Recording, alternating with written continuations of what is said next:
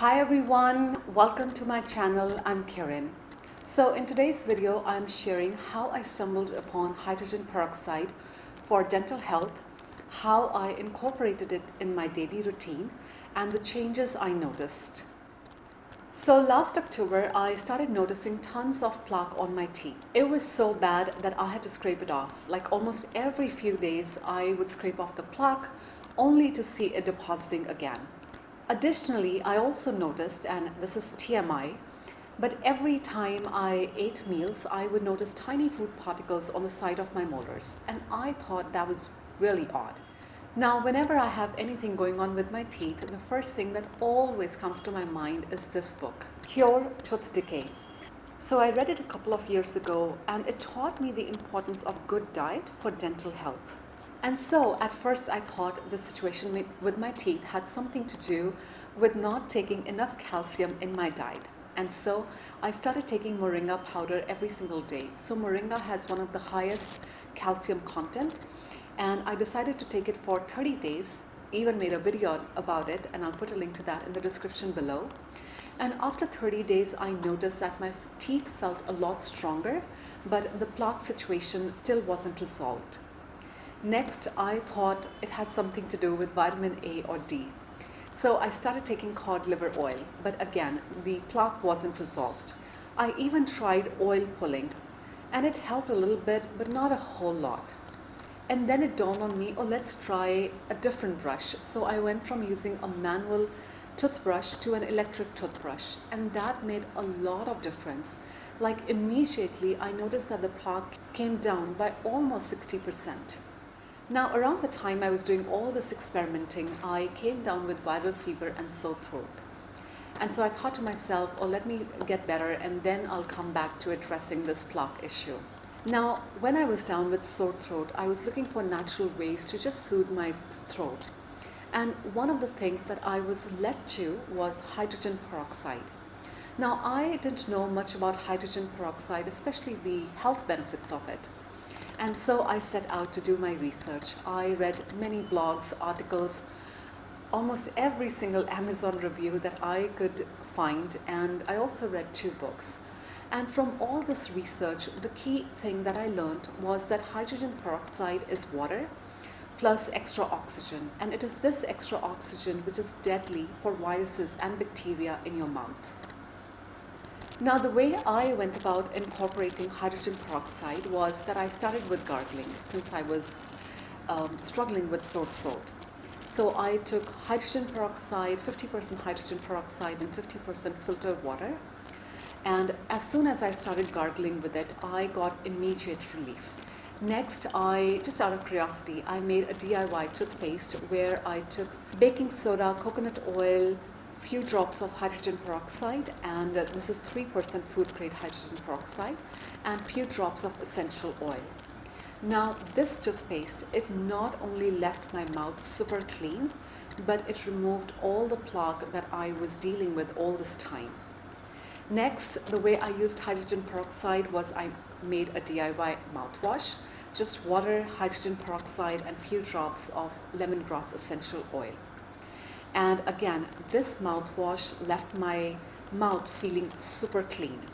Now this is a picture of my teeth I took after about five days of using my DIY hydrogen peroxide toothpaste and mouthwash. As you can see, no more yellow stains and no plaque. Now, an interesting thing happened when I used hydrogen peroxide mouthwash. As in, when I spit out the mouthwash, I noticed tiny film-like coating in the sink, and I immediately knew that this was a biofilm. So this is what a biofilm looks like. So this gets formed when cluster of bacteria are living together and covered in a slimy goo.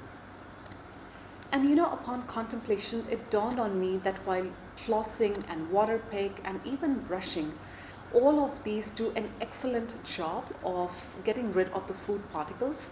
I think the real issue comes when the bacteria and the viruses in our mouth are not addressed. Now, it's been roughly about two months since I started using hydrogen peroxide for oral health. And uh, I've, since then, I've tried different combinations. So as in a few days I went without using the DIY hydrogen uh, peroxide toothpaste and I used a normal toothpaste. And then a few days I went without using my hydrogen peroxide mouthwash. And what I noticed was that at least for me, hydrogen peroxide mouthwash is an absolute must because on the days I didn't use it, like my mouth didn't feel as clean. And I got the best results when I was using both hydrogen peroxide toothpaste and mouthwash. And while we are on the topic of toothpaste, one ingredient you do want to skip, especially if you want to advance in your meditation practice, is fluoride. Now, fluoride, it calcifies your pineal gland, and this is one gland you want functioning, especially if you want to advance spiritually. Now, during my research, I found an interest, interesting piece of information, and that is the dirtiest place in your bathroom is guess what? Not the toilet, but rather your toothbrush.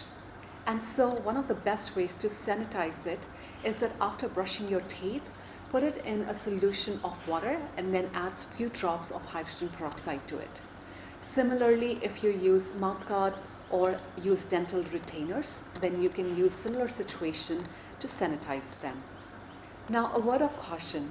Now, during my research, I found that if you have mercury fillings in your mouth, then you don't want to use hydrogen peroxide. In that case, you might want to consider using colloidal silver. Now, since using hydrogen peroxide, my mouth has felt super clean. I remember about two weeks into my research, and I shared with one of my friends, I said, you know, energetically, my mouth feels 10 pounds lighter. And that's the thing, you know, when you use uh, hydrogen peroxide, especially as a mouthwash, it gets rid of all those viruses and bacteria, leaving your mouth super clean. Now, if you want to try out any of the DIY recipes that I mentioned, then here are the details. For toothpaste, take 6 teaspoons of food grade baking soda, add 3 teaspoons of coconut oil, 10 to 12 drops of 3% hydrogen peroxide plus few drops of any essential oil you like. Now, when you are buying hydrogen peroxide, make sure that number one, it's food grade. Second, it's 3% concentration. Next, it has no added stabilizers in it. As in, when you look at the ingredient list, it should only say hydrogen peroxide and water. And the brand that I like to use is Essential Oxygen. And if you would like to buy it, you can get it at a 20% discount with this coupon code. Now for mouthwash, I like to take 1 4th parts of 3% hydrogen peroxide and mix it with filtered water. And to this I add a few drops of peppermint essential oil. Now if DIY recipes don't work for you and you prefer to buy it from store, then this brand Essential Oxygen, they also have excellent mouthwash and toothpaste and both of them contain hydrogen peroxide. And again, you can buy these at 20% discount with this discount code. Now, part of my routine is that I like to brush my teeth right before going to bed. And when I wake up in the morning, I don't feel the need to brush again just because my mouth feels clean.